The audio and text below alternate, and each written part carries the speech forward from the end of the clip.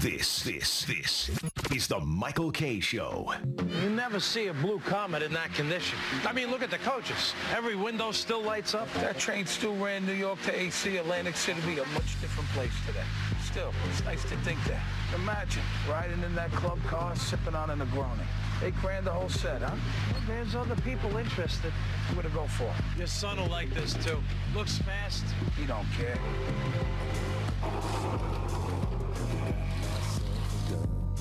This is the Michael Kay Show We've been in an accident.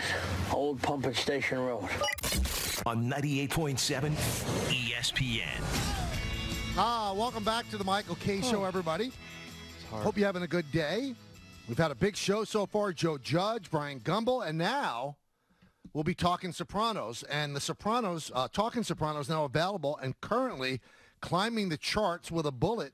See what I did? Top 50 list on Apple Podcast, and there are new episodes every single morning. And the stars of Talking Sopranos two of the stars of The Sopranos, Michael Imperioli, who played Christopher Moltisanti, and Steve Schirripa, who played Bobby Baccala. And they are nice enough to join us now. Michael and Steve, how you guys doing? Are you staying safe?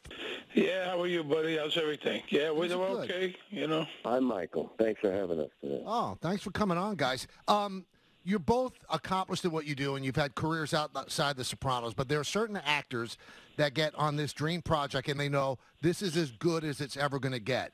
I'll start with you, Michael. Do you say, no matter what I do in the future, and I could do great things, nothing's going to be better than The Sopranos?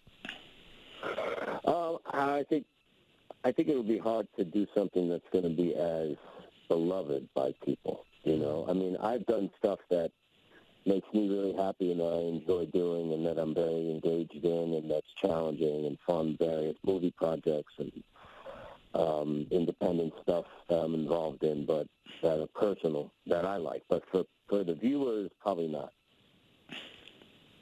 What what is the biggest type of conversation per day when you're doing the podcast?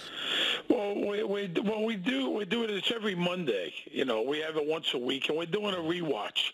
So we haven't watched the show in 20 years. Uh, you know, and we started going back. We were supposed to do it together in the same room, but then once uh, you know the virus hit, you know, Michael's in California. I'm here in New York City, so uh, we're doing it remotely. Uh, you know, they had announced it. We weren't going to do it because we said, well, what's what, what's going on in the world? Is a TV show really that important? And and, if a lot of the fans on social media were contacting us to do it, so we we started.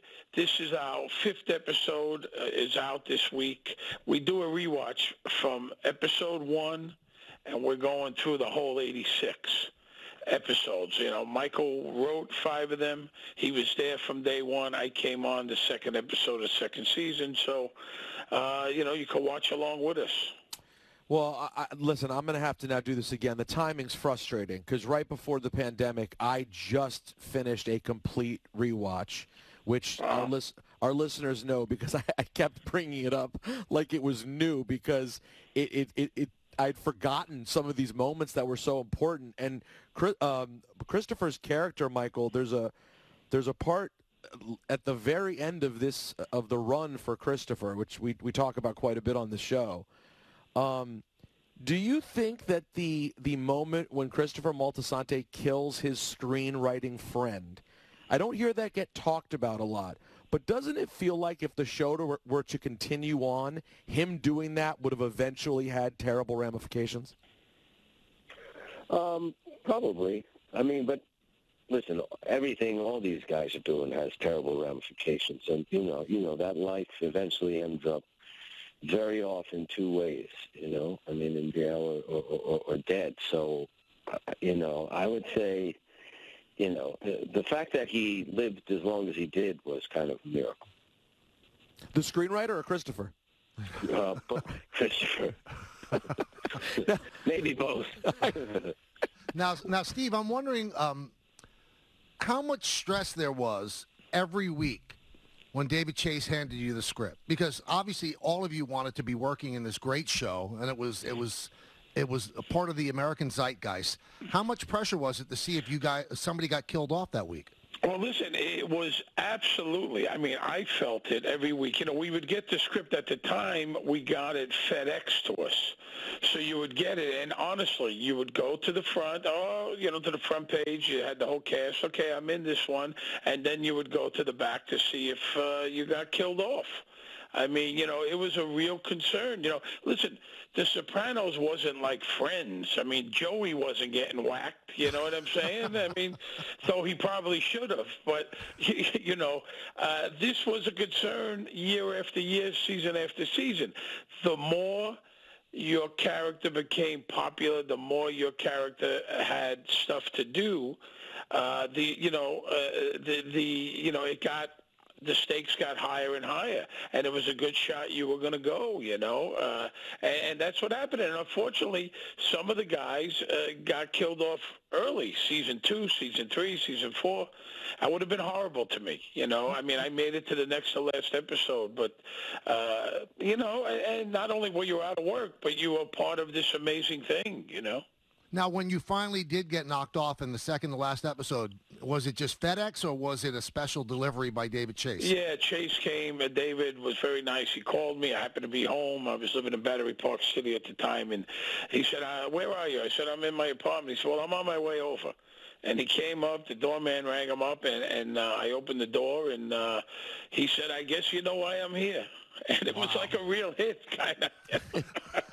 I said, well, I guess so. And we sat down, and he was very vague about uh, what was going to, you know, happen. And uh, that's uh, how I found out. But you had to be, Steve, I imagine that as time went on, by the time you get really late in the series, the Bobby character evolves so much. Were you pleasantly surprised with how much depth there was to the Bobby character as time went on? Oh, absolutely. Because listen, I came on for one episode. I mean, they hired me for one. You know, there was no guarantee of anything. I mean, I did six in the first season, and then slowly uh, he did more and more, and then he he married the boss's sister. So maybe Bobby wasn't as stupid as everyone thought he was. He's at the right, you know, he's at the right arm of uh, of the boss of the family every Sunday, and on and on. Oh no, my my character had an incredible arc. You know, I mean, I, I couldn't have asked for anything more than what they gave me, and I and I was very flattered, you know, that David and the writers uh, thought enough of me as an actor uh, uh, that they gave me all that material. I want to direct this one to Michael because we're around the same age. But when you when you watch an episode from 20 years ago, when you're in your early 30s, do you look back at it and go, with all the experience that you've learned and accumulated since then, do you look back and say, I might have done that differently or I might have done that better because I'm so much better an actor now than I was when I was in this episode? Um, well, I already did that the other day when I was watching. Uh, I did, we watched. Let's see. We watched the the Legend of Tennessee Moltisanti, which is season one, episode eight or something like that. Which I really liked what I did for the most part in that episode. And then I watched the Hit is a Hit, which was either nine or ten and some of the stuff made me cringe, um, um, which I want to bring up, Steve, next time we tape a podcast and talk about that because it's interesting. uh, looking back on stuff, yeah, I would have done it differently. I don't know if because I'm a better actor now or just because uh, in hindsight, you know, everything's easier. You know what I mean? Mm-hmm. To, to, to, to, to look at because you're, you're looking at it rather than experiencing it. But yeah, to now, Michael, I, am wondering, uh, uh, both of you. I mean, a lot of the, a lot of the, um, a lot of the killings were, were really stark, and, and uh, you know, it, it, just jolted people that were watching. And, and, the one that always, to me, it still resonates is when uh, Adriana goes down. And I mean, it was just, it was brutal. As actors, did you ever watch anything? Go, wow, I, that's too much. I mean, did did that scene affect you, Michael? Um, I think the most disturbing moment of violence in that scene was when Tony was choking uh, Annabella Sciorra's character, right. Gloria. That, for some reason, was that, and when Ralphie killed, uh, I think her name was Tracy. I forget the. Oh, the the the the, the Ralphie scene outside the club is awful. It's very hard. Those, those two were the most uh, disturbing for me. I would say. What about the, what about when you sat on the dog? That was disturbing. that, that wasn't that disturbing. I'll be honest. I don't know. I mean, I don't equate that, you know, that with those two. Those two were particularly upsetting because, you know, we knew those characters by, you know, but, you know, uh, well, especially with Gloria's character, we knew it pretty well. I mean, the dog wasn't, um, there were no animals harmed in the filming of the planet. Now, I think I'm curious to see what you guys. Did Richie show up yet, guys? Uh, Where you're watching? No, no, we're on episode uh, five right now, Okay, which so- is college, which is a, an incredible episode and kind of turned the series around. You know, that's if you if, if you don't remember, Mike, uh, he uh, took his daughter to visit colleges, and then he ran into the snitch, and then he brutally chokes him. And and uh, as we talked about on the podcast, you know, HBO uh, you know, didn't want the the star of a series. It's the first time probably where a star of a series murdered someone. And they said, we're going to lose the audience. And to David Chase's credit, he said, no, if he doesn't kill the guy, he, they're going to lose the audience because that's what these guys do. They're brutal mobsters, and that's what that what happens. And that really turned the whole series. That was a big turning point. It's funny. I'm, cu- I'm curious to see what you guys feel when, when the Richie character shows up. Because during my re- rewatch, when Richie April showed up, the, the show went from really good and entertaining to having this sort of scary edge to it that it maintained, I thought, through a, for a really long time. And I, I thought there were some characters like Richie and Ralphie that brought a certain energy. They have a, a podcast, uh, Talking Sopranos, which you could get on Apple, Spotify, YouTube, wherever you have your pa- podcast platforms. Now, Steve, I- I'm going to direct this to you. Okay. Uh, you, you, I mean, we've hung out. You know me. Yes. On this show, my show here, our show, they they, they say I'm a bad guy because I will occasionally just talk about you getting shot in the train station or train store and, and, and Michael getting killed by, you know, um, Tony choking him out. And they say that I'm spoiling things. And I say, the show hasn't been on in 13 years. How am I spoiling things? How much do I have to wait? Am I a bad guy or a good guy? Well, no, I, I think you're a great guy, Mike. But listen, this is the thing. A whole new generation is watching the show. And, and you know, kids that were too young, kids that are now 18 and 19 in their early 20s, that they were too young. I mean, the show's been off the air 13 years. These kids that were 10 and 12 and, and couldn't watch it then are watching it now. You know, back then HBO had 11 million people. Now between streaming services, HBO Go, Amazon, all this stuff, there's probably more people watching it now than you know years ago. So you are spoiling, but Yes, hey, bad guy. Thank you, not everybody has seen it, and it's that is why the popularity. I mean, we're talking about a show that ended 13 years ago, and not a day, not a week goes by where someone doesn't mention it in some capacity or another. So you would advise me not to give away endings anymore? I, I think you have a you have a younger audience, sports guys listening, and they probably haven't gotten to that yet. Well, you I could just announce a spoiler alert, you know, give him a minute to like Thank you. Guys, he he soft he, he soft shoot that whole thing. Somebody can call and complain. Michael, stop with the spoilers, and then they'll spit out five spoilers just to irritate the guy. That's that's bad behavior. That's awful. You know, and, and you know what we have coming next Monday? David Chase uh, wrote some new dialogue, seriously, for some of the characters, which we're going to read. David gave it to us, which we're going to read Monday about the coronavirus. Oh, really? He's got some new lines for the first time in thir- you know 13 years. Christopher lines, Bobby lines, oh, Tony lines, Carmela lines. David Chase sent it to us to read on the podcast. Oh, that's which is- awesome. Which is absolutely amazing. It really is. Michael, in, in the end, where does the Christopher character land with you? Do you think he's a sympathetic character that at times I really feel for him, and then in other moments I think he's as bad a guy as there is on the show? Where does he sit with you? Well, I mean, I look at it, uh, uh, you know, as an actor, you know, you try not to judge the character. So uh, I always had a certain amount of affection for him because I, I liked. Um, he was a very hard worker. You know, he wasn't. Uh, he wasn't just expected everything to come to him. Like he was willing to work for stuff, and and um, yeah, he was. Kind of a terrible guy at the same time because he was very, you know, he killed people, you know, for his own gain, and he was greedy, and like like the rest of those guys, you know, on the show, they all they all were to some extent terrible people at the same time, but there are there were some admirable qualities and likable things. I think from the beginning, when we watched this episode. Uh, Tennessee Moltisanti, which is early in the midway in the first season, he talks about how the regular regularness of life not being enough for him. I mean, it's really kind of the key to his character and what would happen to him, and really the beginning, you know, the seeds of drug addiction. You know, I think that's a common thing that a lot of addicts have.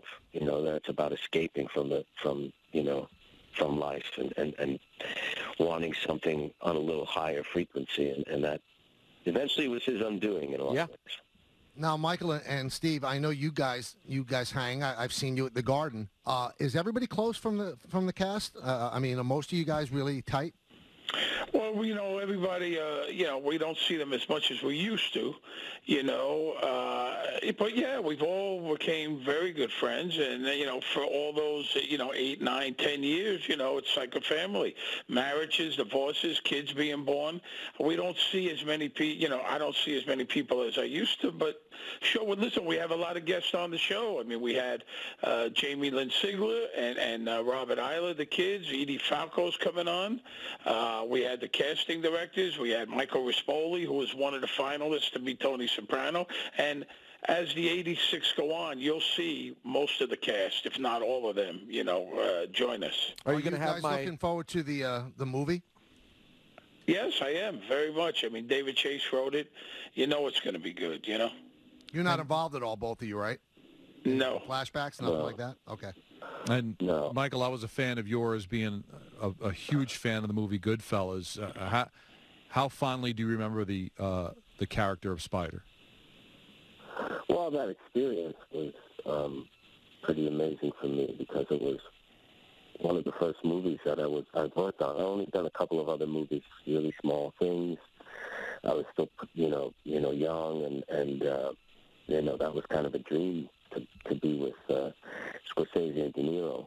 I mean, those are two of my you know heroes. You know, growing up and and when I started pursuing acting, so. I always, you know, have a sports analogy to that. That's like being pulled up from the minors and going to play in the World Series in Yankee Stadium. You know, for me, that's what that was like. Well, the show or the podcast called Talking Sopranos, it's one for every single episode during the Sopranos run. It comes out every Monday, and you could get it on Apple, Spotify, YouTube, other podcast platforms. It's uh, in the top 50 on Apple Podcasts right now, so it's doing very, very well. And I will tell you this, not because they're with us. I've met both of these guys. They are such great, great people. And if they're hosting it, I'm going to bet that it's going to be unbelievable, and that's been unbelievable so far. So Michael and Steve, thank you so much, and, and, please both of you stay safe. Hey, thank you guys, and be well. Really, thanks for having us. Take care. All right, All right cheers, guys. You, Michael. Take care. You got it. That's Michael Imperioli and Steve Schirripa. That's a great idea for a podcast because every single episode has been um, dissected and and uh, thought of over and over and over and discussed. And when Peter rewatched the whole series, now the people that were there can tell you what was happening and what, well, what it was like to do that that specific episode. It sounds like a great idea. Well, that's what makes it so smart is them cashing in because there are so many other podcasts